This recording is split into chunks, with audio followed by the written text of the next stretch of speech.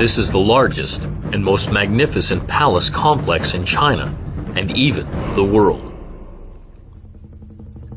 This was the political center of China from the 15th century to the earliest 20th century.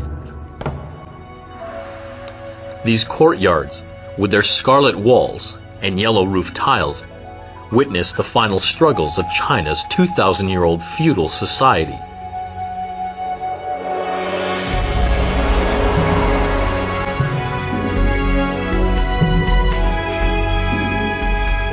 In the past, the Forbidden City was a symphony of architecture, but today it is more a symbol of culture and history.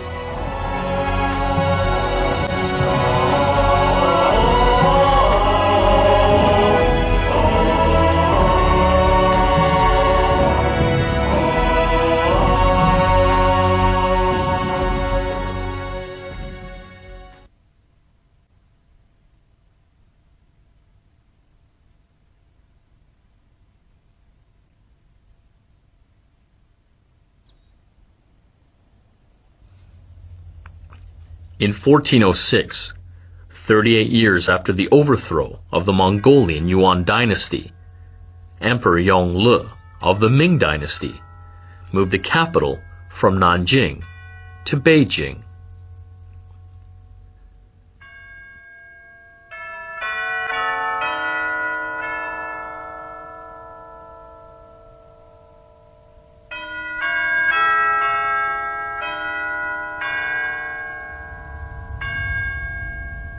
He quickly had the magnificent Yuan palace demolished so he could use the space to build his new palace.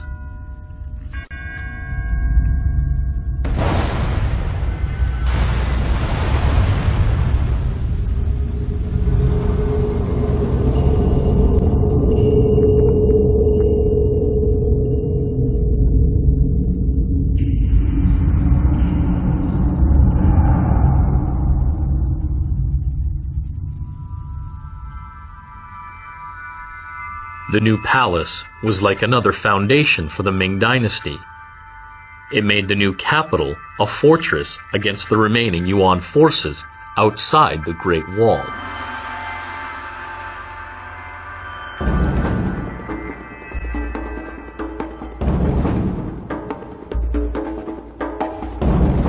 In the sixth month of 1406, Emperor Yongle ordered construction on his palace to begin immediately. A general director named Chen Gui was put in charge of the project. Timber and other building materials were sourced from all over the country.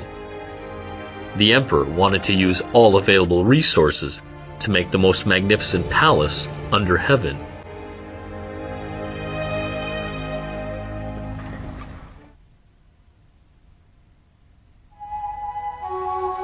For the next 10 years, Beijing was the site of the largest and most active construction site in China.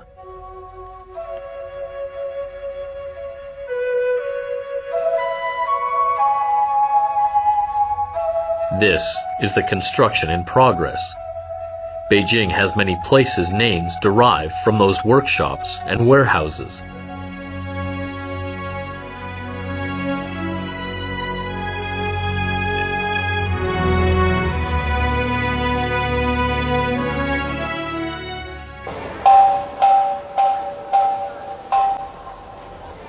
Large team of workers and machinery arrived at the Forbidden City in 2002 to carry out a large-scale renovation.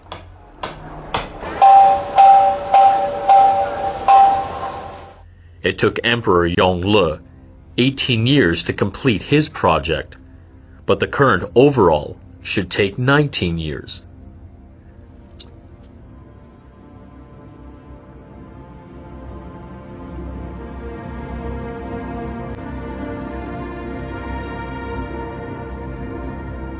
This was no ordinary renovation. Traditional technologies from the time of the original construction had to be used throughout the project.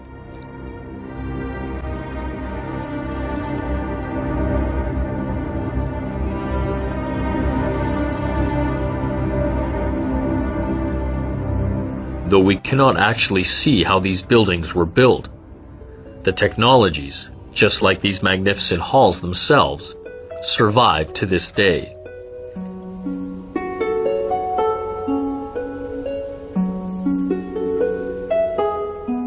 Construction technologies in the Qing dynasty were divided into major categories, including carpentry, plastering, masonry, bundling, earthwork, painting, color drawing, and paper hanging.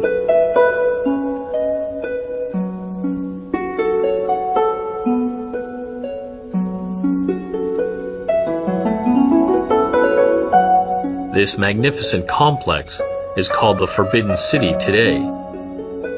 It featured all the building techniques for royal palaces from previous generations.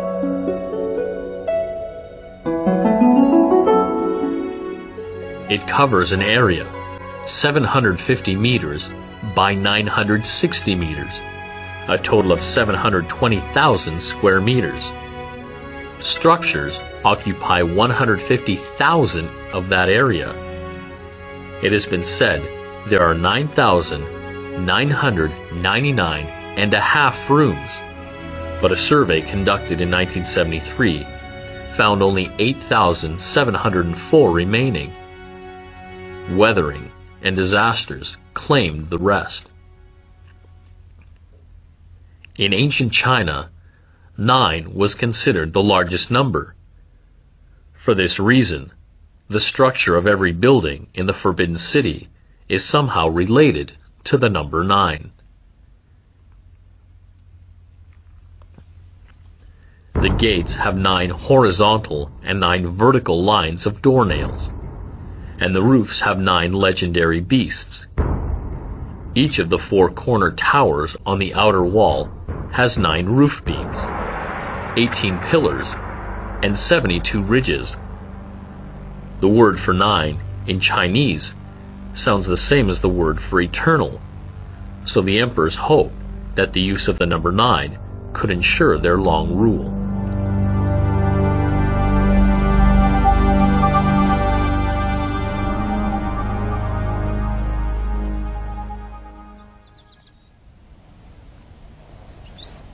The Meridian Gate the largest in the Forbidden City, was the site of major ceremonies and holiday celebrations.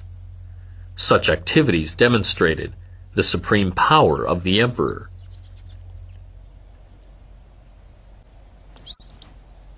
You can only get a true feeling of the Forbidden City once you are inside the gate.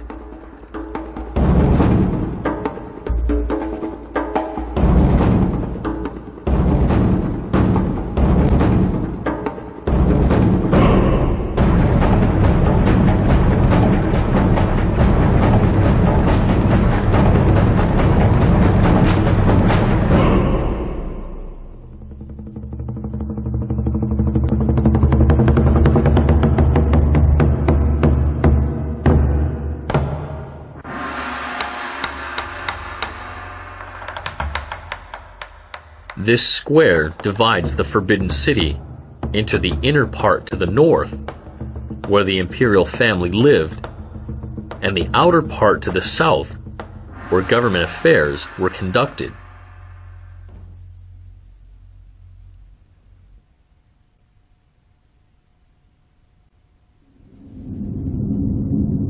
Ceremonies were held in the outer part of the Forbidden City, where the Hall of Supreme Harmony the Hall of Central Harmony, and the Hall of Preserving Harmony were located.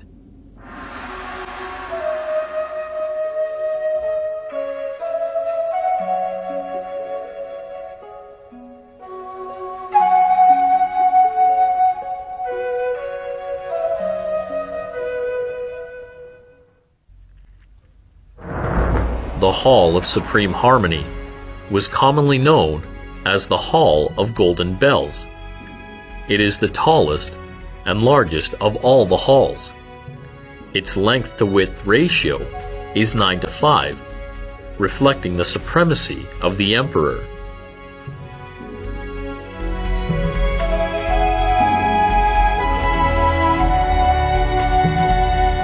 This was the venue for all significant ceremonies during the Ming and Qing dynasties, including coronations, imperial weddings, awarding titles of nobility, naming military officers, and seeing off the army.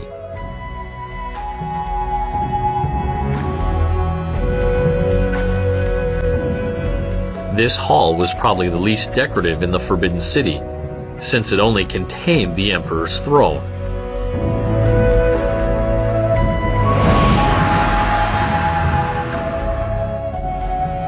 From his throne, the Emperor could radiate his power to every corner of the city.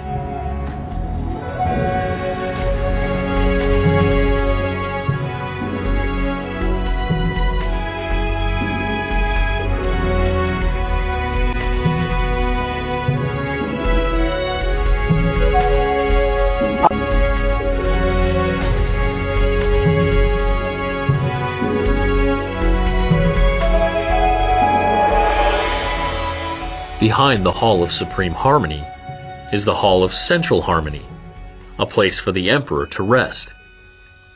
Each time he attended a ceremony, the Emperor would rest for a while in this place to receive respect from his ministers.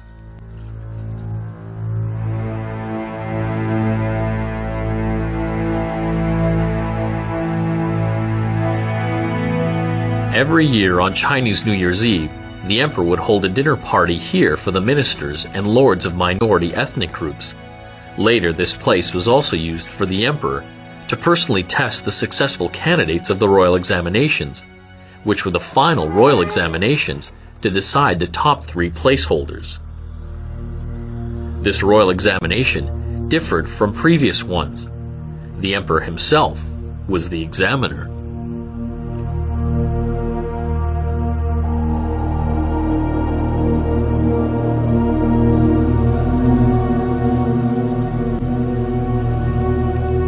This answer sheet, neatly done in regular Chinese script, was written by a candidate during the reign of Emperor Qianlong to answer a question from the emperor. The time to hand in the sheets was sunset on the same day.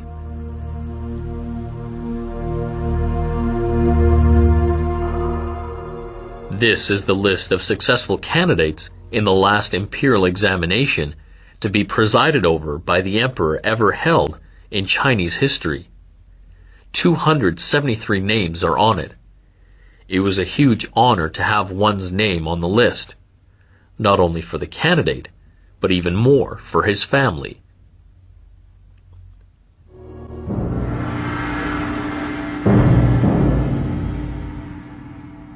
Beyond the gate of heavenly purity was the place for the emperor's family.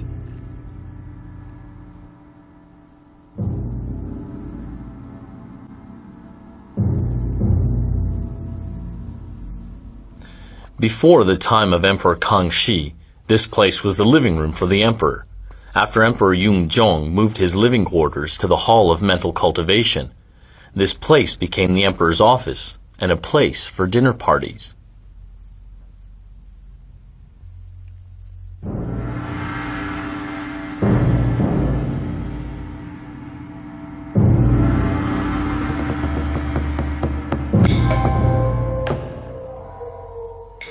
Behind this wooden plaque, inscribed with four Chinese characters, meaning justice and honor, was a small locked wooden box kept in secret. It would hold the name of the prince that the emperor had chosen to succeed him.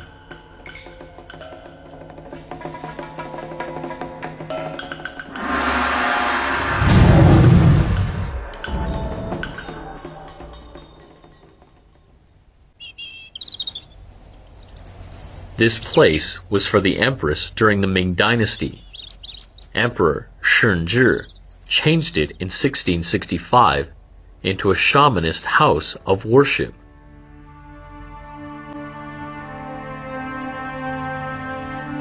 Inside, on the west and north sides, were the shrines. A huge cooking pot, placed on the northeast corner, was for preparing meat for use in worship.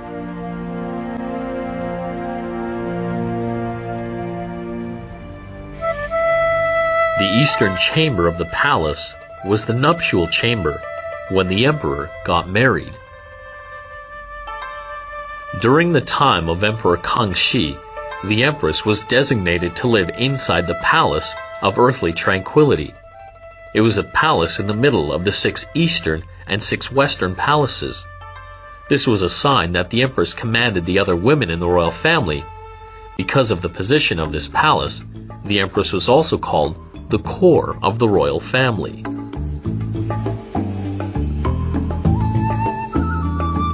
The emperor's other women lived in the palaces around it, commonly called the six eastern and six western palaces.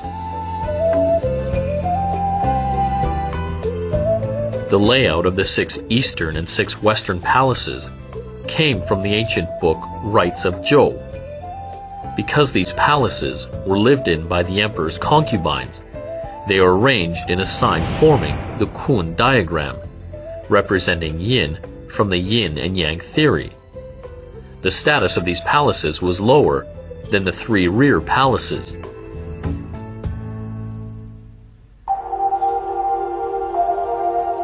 Between the palace of heavenly purity and the palace of earthly tranquility is the Hall of Union, a place to keep the 25 imperial seals that the Qing emperors used. Why 25? This was determined by Emperor Qianlong following the description in another ancient book, the Book of Changes, describing the 25 changes that heaven might have. It was also his hope to be blessed by heaven so that his empire would last at least 25 generations.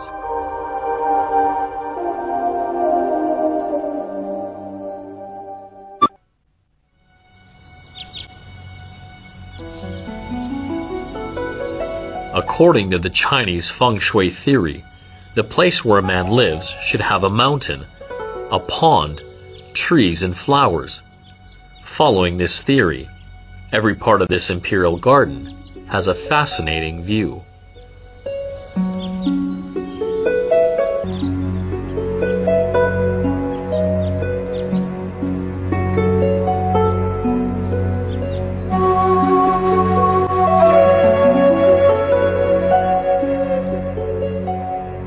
This garden combines both the royal and private garden style from China's south, a marvelous work of art amid solemn looking halls.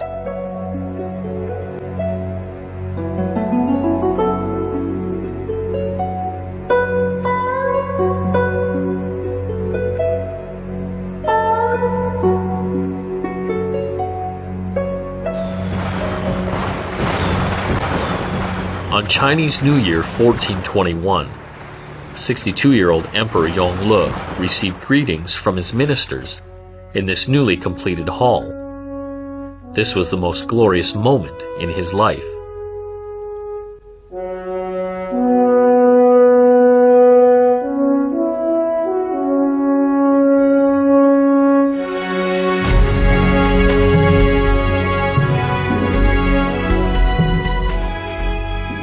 Forbidden City is more than an architectural complex. It was the embodiment of the philosophy of feudal China that the state and the royal family are one. Emperor Yongle made the Forbidden City a miniature of his own kingdom, the symbol of the political system that dominated China for more than 2,000 years.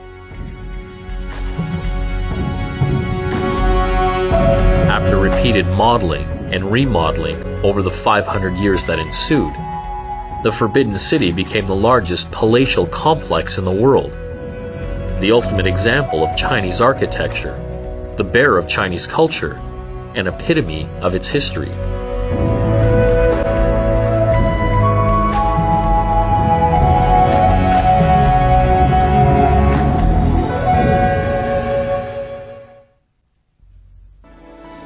For 600 years after it was completed, this huge courtyard was China's center of power.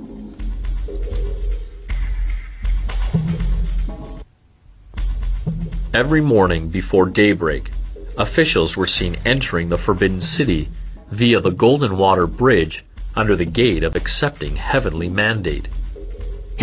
Those living fairly far away had risen at midnight.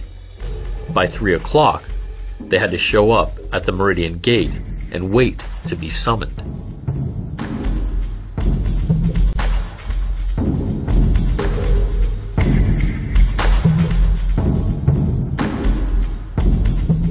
Every day began like this, with the ministers summoned to court to meet with the emperor and to receive instructions.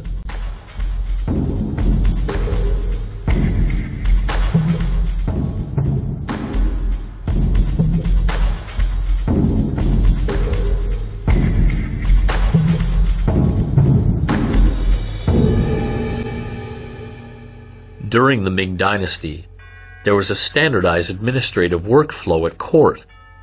Memorials to the throne and suggestions from even the common people were gathered by the Department of Administration and submitted to the emperor by the Directorate of Ceremonies. Then they were presented to the Grand Secretariat for suggested solutions before being returned to the Directorate of Ceremonies to get the emperor's approval. The edict from the emperor would then be issued by the six administrative sections, and after covering 143.7 thousand kilometers distance and passing 1,936 posts set up across the country, would reach every corner of the country.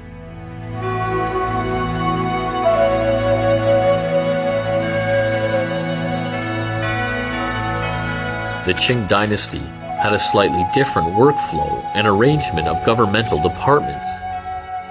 In 1729, the Grand Council was set up to replace the ministers' meeting that were held before the throne, an old practice dating from the time before the Manchu rulers took over the country.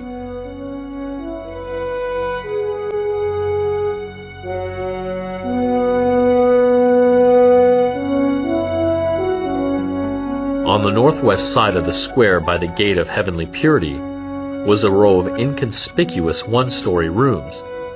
They were the offices of the Grand Council. The Grand Council's offices were only 50 meters away from the Hall of Mental Cultivation, the place where the Qing emperors did their daily administration.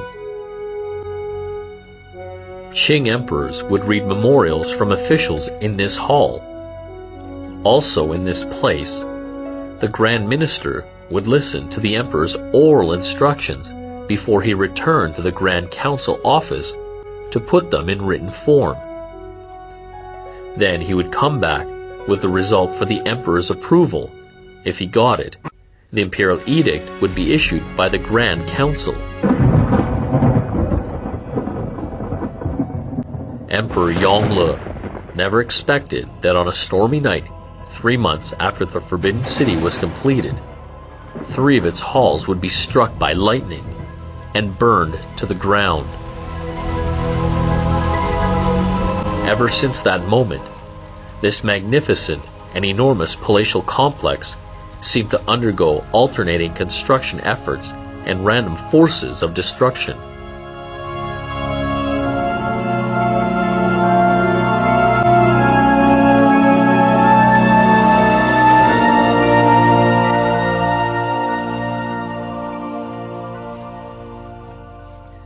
Emperor Kangxi finally made up his mind in 1695 to rebuild the three halls destroyed by lightning 16 years earlier. He wanted to regain the glory they had enjoyed during the Ming. Nobody could picture these magnificent halls built over 200 years before.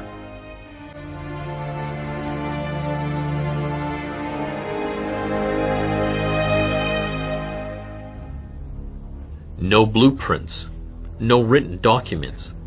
Nothing was available to assist in the rebuilding efforts. A man named Liang Jiu solved this insurmountable difficulty. He made a wooden model of the Hall of Supreme Harmony at a scale of 10 to 1, and then used it to finish the main structure.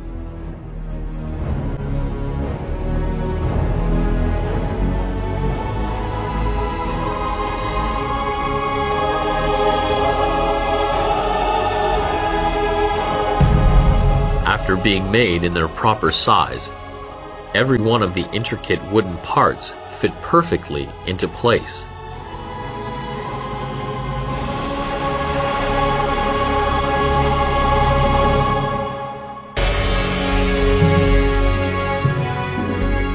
In 1697, after two years of hard work, the rebuilding project was completed.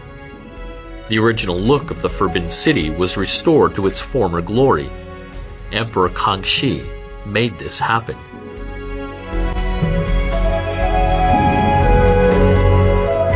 When it came to the rebuilding or remodeling of the Forbidden City, Emperor Qianlong definitely made a greater contribution than anyone else. He undertook the largest rebuilding project since the Forbidden City was completed in 1420. Two of the more fundamental changes were made to facilitate modifications to the political system. Emperor Qianlong used to live in this mansion as a crown prince. He later decided that he wanted to elevate this place to the status of a hall. So after rebuilding and remodeling, this three courtyard compound became the palace of many splendors. The second major part of this project was the rebuilding of the Palace of Tranquil Longevity.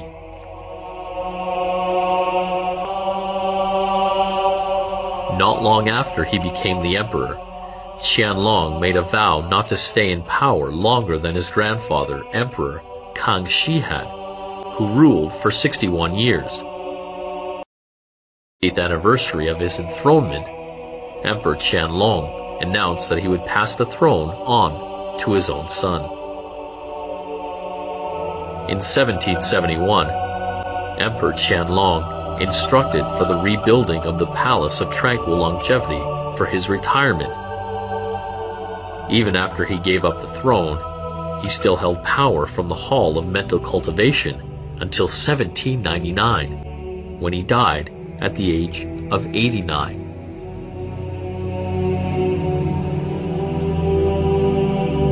He never stayed inside the Palace of Tranquil Longevity, a palace that had cost a fortune to rebuild not for a single day.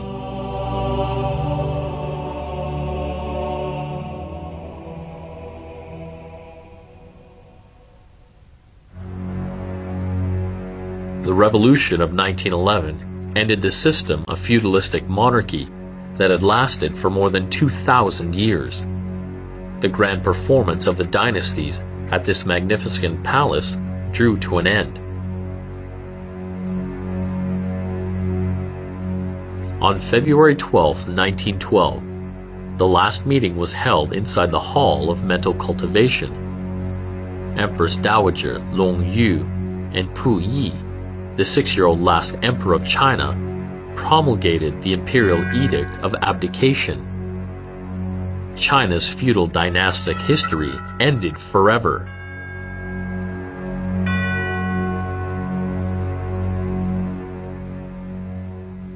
The downfall of the Qing dynasty marked the end of several thousand years of feudal society.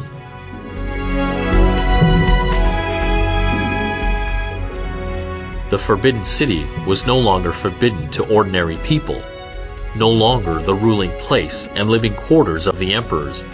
It became a symbol of Chinese history and culture.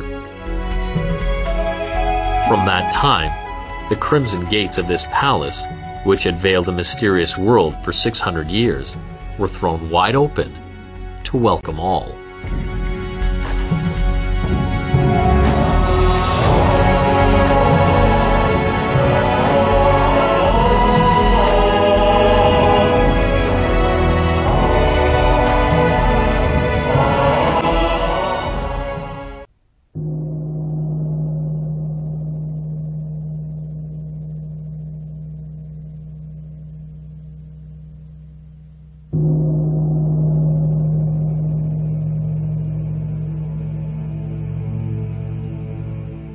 In accordance with the decision of the Temporary Governing Committee, On November the 15th, 1924, the abdicated Emperor Puyi was expelled from the Forbidden City by the troops of warlord Feng Yuxiang.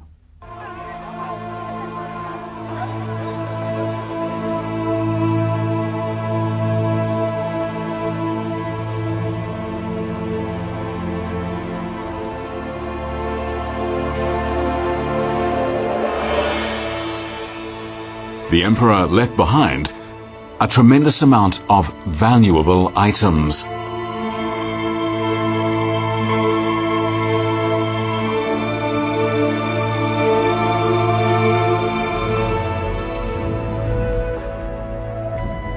The following year, on October the 10th, the Palace Museum was founded, ending its history as a royal residence. With that, a world-class museum was born.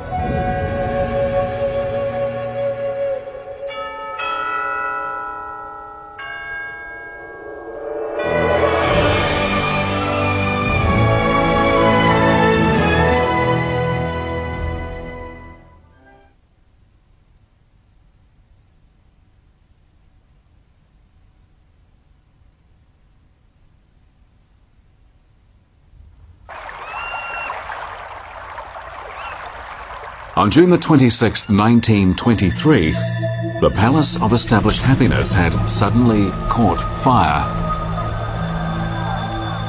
At the time, many people wondered about just who caused this mysterious fire and the fate of the many treasures in the Forbidden City.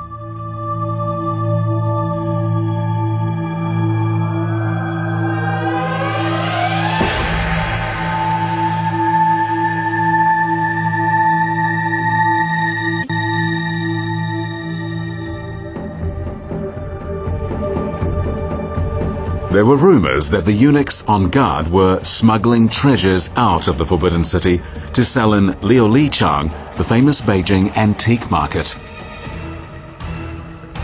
Some people were certain that the eunuchs set the fire to destroy the records of the things they had stolen.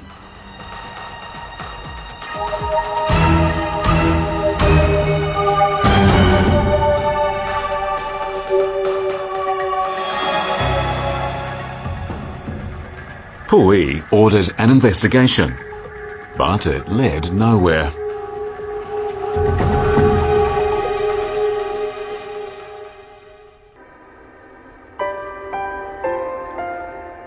Eighteen days after the fire, all the eunuchs were expelled from the Forbidden City, leaving behind the imperial treasures collected over the centuries.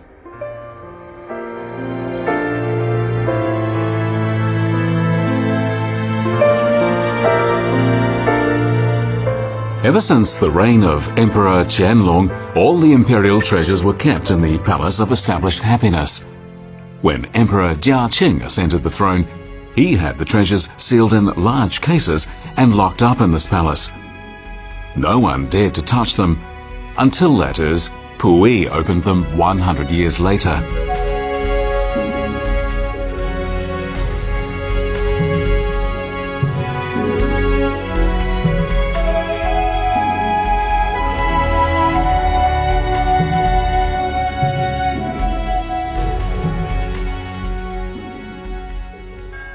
This rather ordinary looking cup is as old as the palace itself.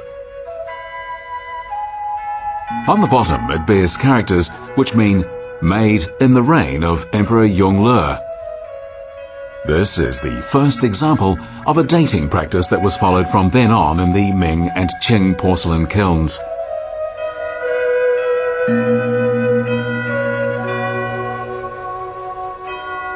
The cup's pale blue color with faint rust-colored spots was created by the addition of smalt, a rare and expensive cobalt mineral that Zheng He, the legendary Chinese adventurer, brought back from Arabia.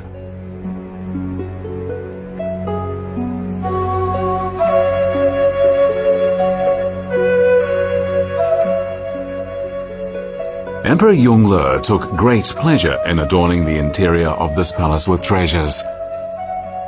Yongle blue and white porcelain is one of the most valuable types of Chinese porcelain.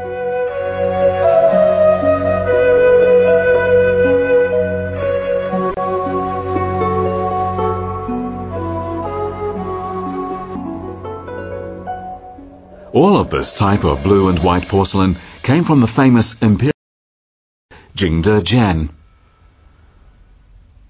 This town gained a reputation for making fine blue and white porcelain in the Yuan dynasty. During the Ming and Qing dynasties, China's porcelain became more colorful.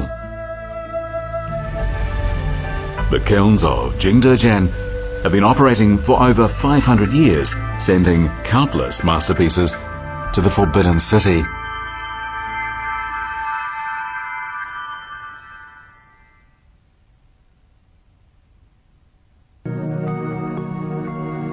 Reign of Emperor Qianlong marked a high point in the manufacture of porcelain. This large vase is a good example of the fine craftsmanship of the period. It is decorated with 15 glazed colors, 16 emblazonries, and 12 auspicious images. It is known as the mother of porcelain.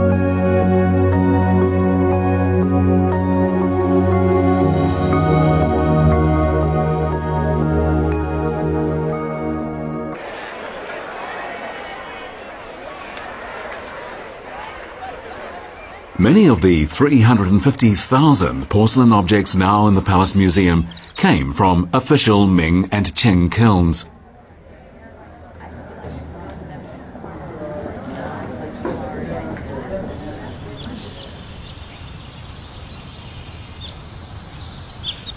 In addition to fine contemporary porcelain works, Ming and Qing emperors also collected porcelain made by the five best-known kilns of the Song dynasty kilns that operated a thousand years ago.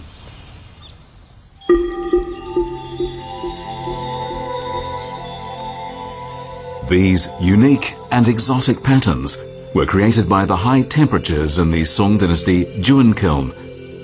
These high temperatures cause the colors to flow. The phenomenon is known as kiln change. Each color had a poetic name, but the most precious color of them all was red.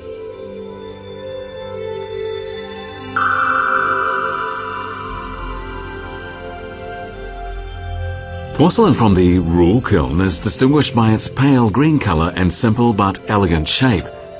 Its elegance and simplicity represented another high point in Chinese porcelain manufacture. Extant porcelain from the Ru kiln is the rarest of porcelain from the five main Song kilns. There are no more than 100 pieces extant worldwide, and 20 of them are in the Forbidden City.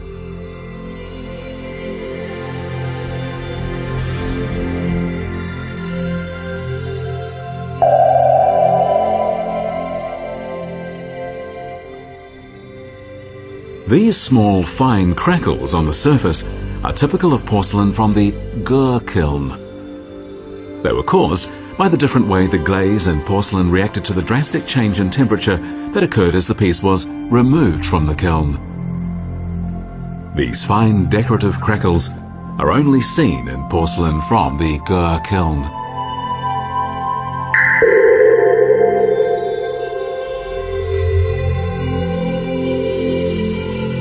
Porcelain from the official kiln was usually pale grey with simple shapes. The colour was said to come from agate after firing. Its surface was fine, smooth, and shiny like jade.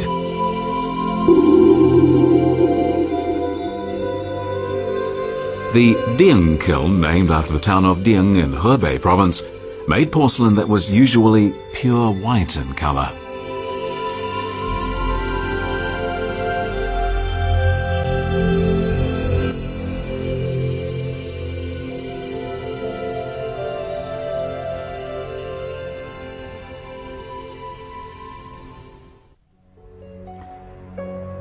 In addition to the Jingdezhen porcelain makers, the Ming and Qing set up organizations to supply the imperial family with other daily necessities.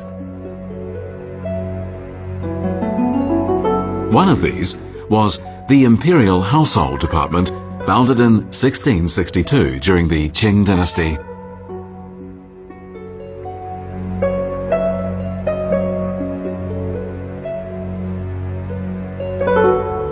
The Imperial Household Department was responsible for supplying everything, including porcelain, furniture, jade, cloisonne and paintings, as well as gold and silver utensils for daily use.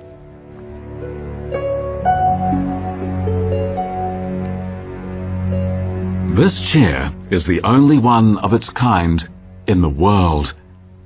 The main part was made from antlers of deer killed by Emperor Kangxi. It is just one of the masterpieces made by the Imperial Household Department.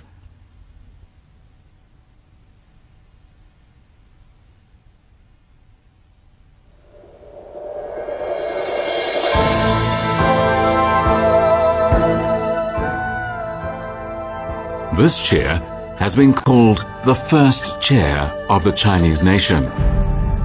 It is made of red sandalwood and it is inside the Hall of Supreme Harmony.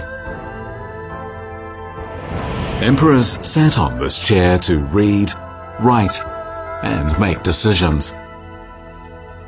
The chair, desk, finely carved bed, footstools, tables, and everything else used by the emperor were made of the best materials with the finest craftsmanship in the country. Everything had to be fit for an emperor and his court.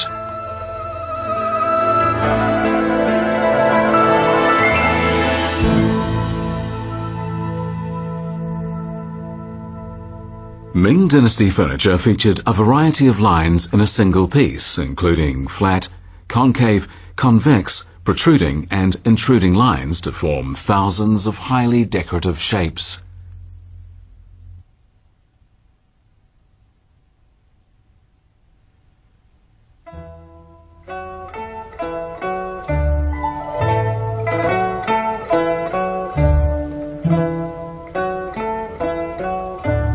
Qing Dynasty furniture reflects a mixture of Manchu and Han culture. The form and workmanship are particularly emphasized, and the pieces often feature decorative carving, inlay, and painting. Auspicious symbols are frequently part of the decoration.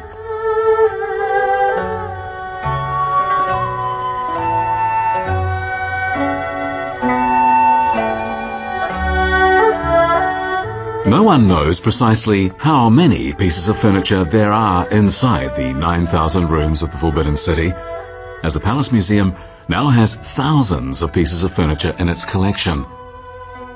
In addition to furniture made by the Imperial Household Department, master craftsmen from Guangzhou, Suzhou, and Shanxi also made furniture for the Imperial Court.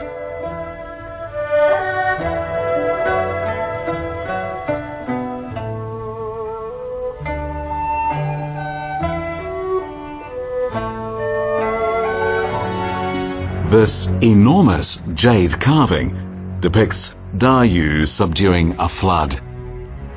It weighs over five tons, making it the largest and heaviest jade carving among the 30,000 in the Forbidden City.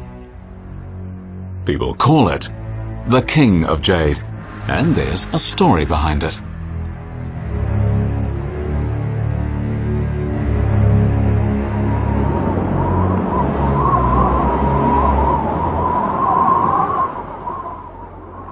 In the Kunlun mountain range in Xinjiang, there's a 5,000 meter high mountain capped with snow throughout the year.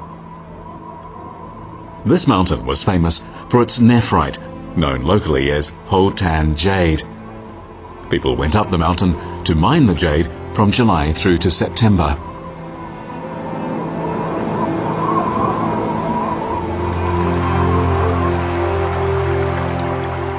Nephrite is a soft, white and smooth type of stone. Streams formed by melting snow often carry small pieces of jade into the river, eventually becoming smooth jade stones, the finest type of Hotan jade. These stones were known as jade pebbles.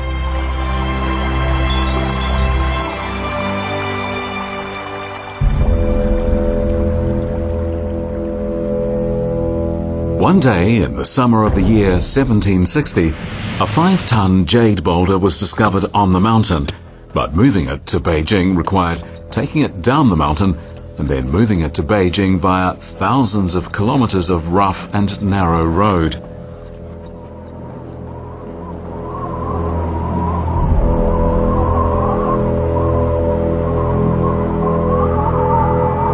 To solve the problem, the workers first poured water on the road to make it slick. The jade was then loaded onto a wooden cart 11 meters long, which was pulled by a hundred horses in front and pushed by a thousand men behind. Even with such a massive force, however, they could only cover 10 kilometers a day.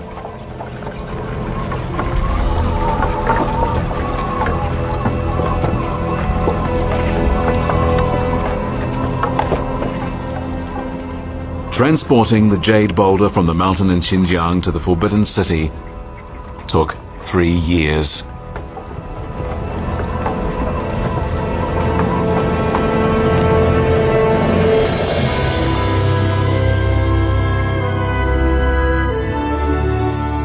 When Emperor Qianlong finally saw the jade, he was overjoyed.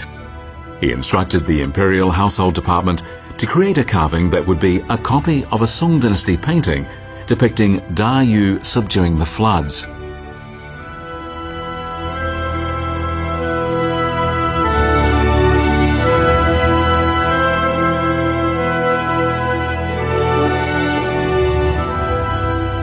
First, a preliminary carving plan was drawn up, after which Qianlong ordered the jade to be shipped to Yangzhou, where the best jade carvers worked.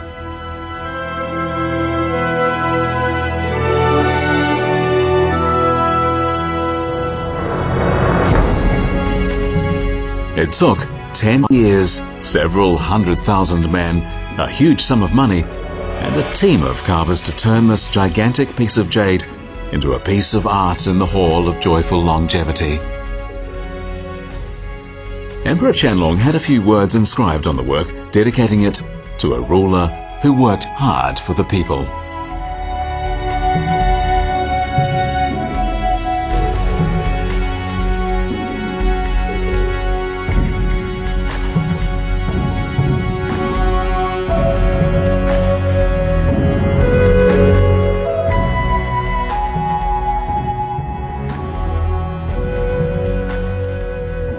Many of the 9,000 rooms inside the Forbidden City were fancy and comfortable, but Emperor Qianlong preferred this six square meter chamber.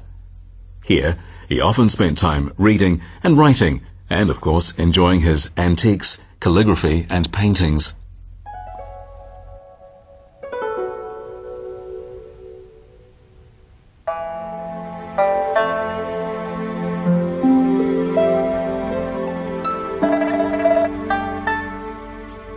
Quality is more important than size, and in this small space, Qianlong displayed his three favorite calligraphy works from Chinese history. For this reason, the room was also called the Hall of the Three Rarities.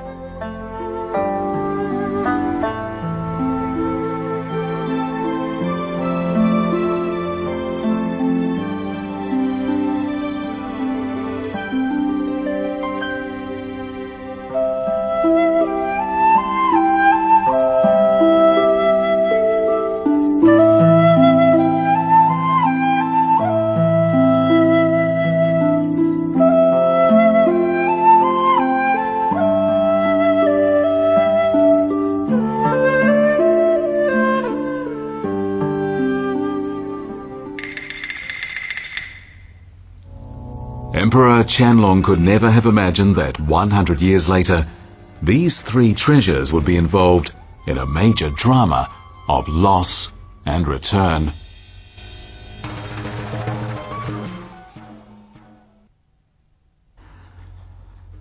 In the early 20th century, the Qing dynasty came to an end, and the Forbidden City was thrown into chaos a concubine named Consort Jean secreted two of the treasures in her chambers in the Palace of Longevity and Health. She then smuggled them out of the palace in her luggage.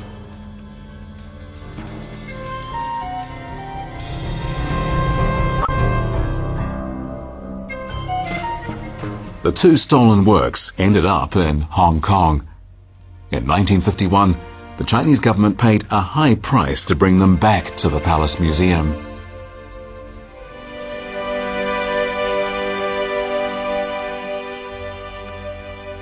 This third work ended up in Taiwan in 1949. It is now in the collection of the Palace Museum in Taipei.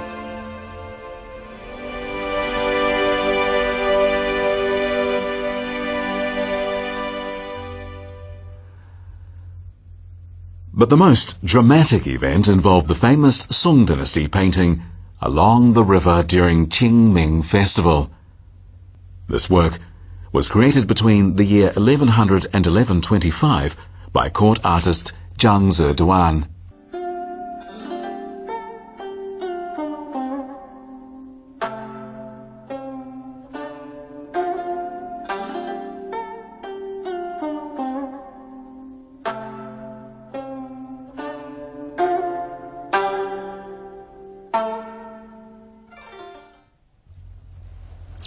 The first collector of this famous painting was the Song Emperor Huizong. In 1127, it fell into the hands of the Jin dynasty after the fall of the Song capital Kaifeng.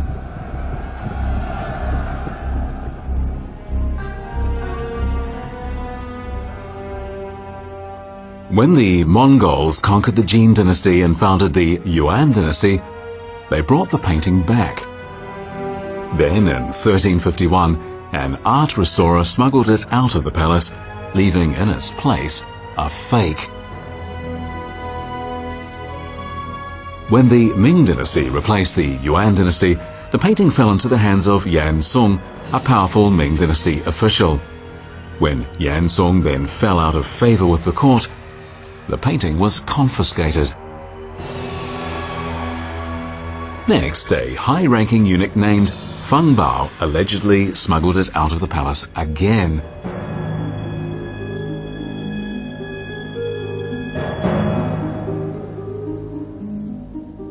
The painting's last private owner was a Qing official by the name of Bi Yuan.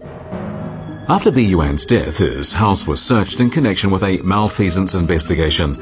The painting was found and returned to the court.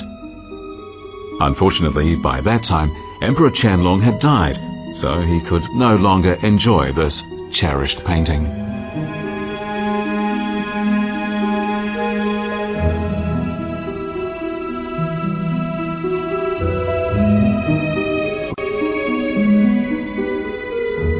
But this was not the end of the story. Puyi, China's last emperor, gave the painting to his younger brother Pu Jie to take out of the Forbidden City for him to collect later. After Puyi was expelled from the Forbidden City, he took the painting to Tianjin and later to Changchun.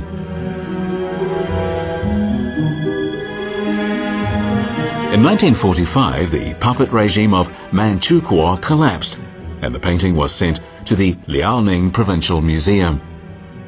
In 1953, it was finally returned to the Palace Museum.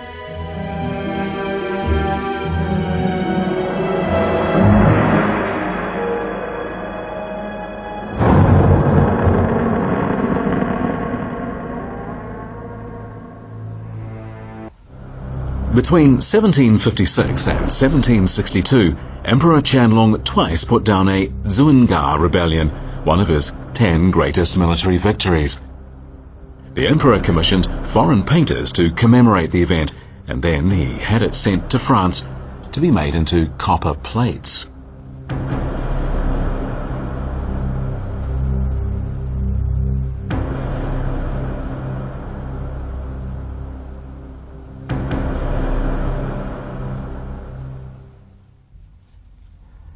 It took seven French engravers seven years to finish the job. Finally, in the year 1774, the 200 prints, the original painting, and the copper plates were shipped back to China 11 years after the project began.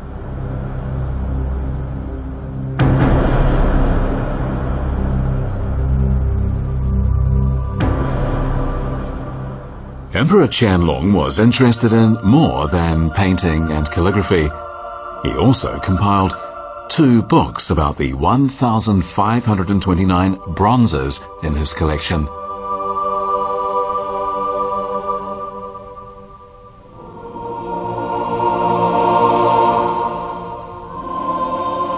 Da Yu, a ruler in ancient China who subdued the floods, allegedly had nine bronzes made as a symbol of the unification of all the tribes. Ceremonial bronze items were popular during the Xia, Shang, and Zhou dynasties, and the following dynasties followed their example.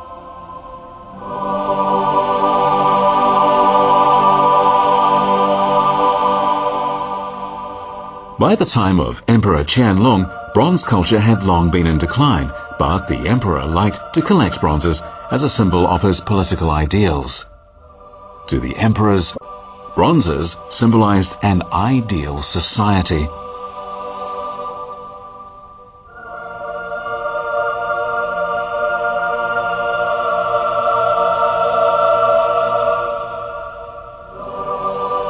The Palace Museum has an incredible 15,000 bronzes in its collection, 10 times as many as in Qianlong's collection. Over 1,600 of them bear inscriptions. This magnificent bronze is now in the Palace Museum in Taipei. Emperor Qianlong never saw it.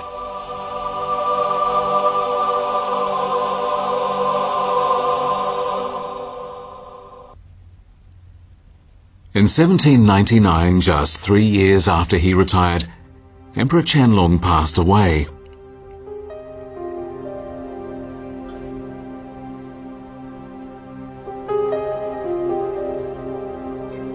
As Qianlong faced death at the age of 89, the glory of the Qing Empire was also slowly dying.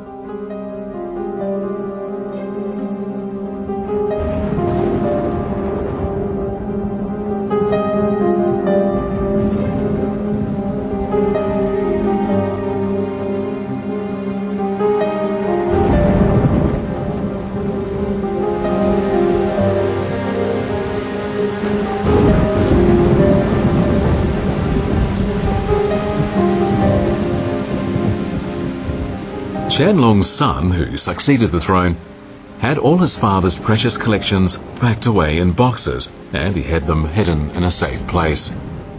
It wasn't until 100 years later, in 1922, that the boxes were found.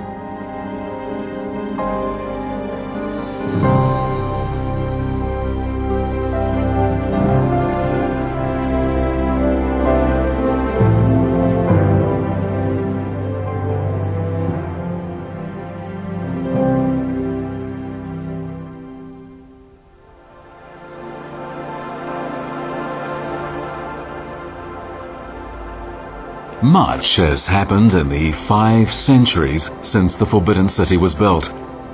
In that time, countless emperors, government ministers, poets, and artists have left their mark on the palace. Among other things, the Forbidden City served as the center of an empire, a military headquarters, and a storeroom for treasure.